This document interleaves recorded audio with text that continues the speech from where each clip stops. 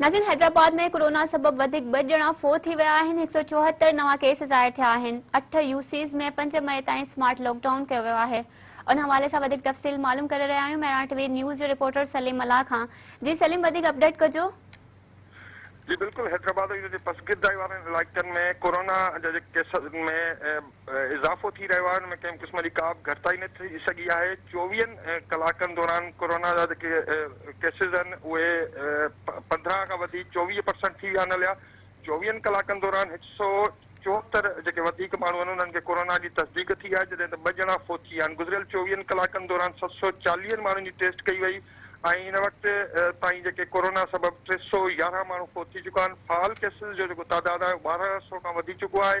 यारहं सौ एकहठि माण्हुनि खे घर में ई क्वारंटाइन कयो वियो आहे जॾहिं त मरीज़ आहिनि सिविल अस्पताल में सत अ, ॿियनि में दाख़िल जि- जिन माँ कुझु जेके मरीज़ आहिनि जी सूरत हाल आहे उहा क्रिटिकल पई वञे। हीउ जेको जेका सूरत हाल थी आहे कोरोना जी केसिस वधनि पिया ज़िले जी जेके अठ यूसीज़ उन्हनि में लॉकडाउन आहे शुरू कयो आहे।